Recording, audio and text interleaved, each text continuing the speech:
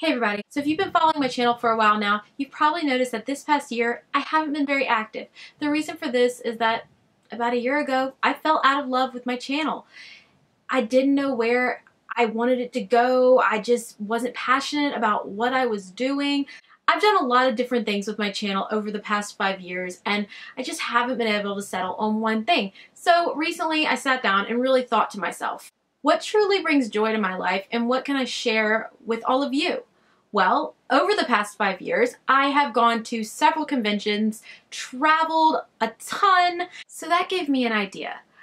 I want to share with all of you my love of all things geeky and travel. When I travel, I love to look for filming locations. That is something I always try and fit into my schedule. I have a lot of amazing trips planned in the next couple of months that I am going to be vlogging throughout.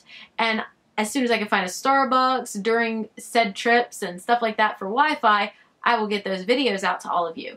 My first trip is in less than a month. I'm going to Chicago for Wizard World and oh, fun things. I am really excited for this. Now, that will not go up right away. I will have to get home and, you know, edit that and get that up for all of you because I'm not bringing my computer. But exciting things are coming. If this new direction for my channel is not for you and you choose to unsubscribe, no hard feelings. I completely understand but I really hope you choose to stick around.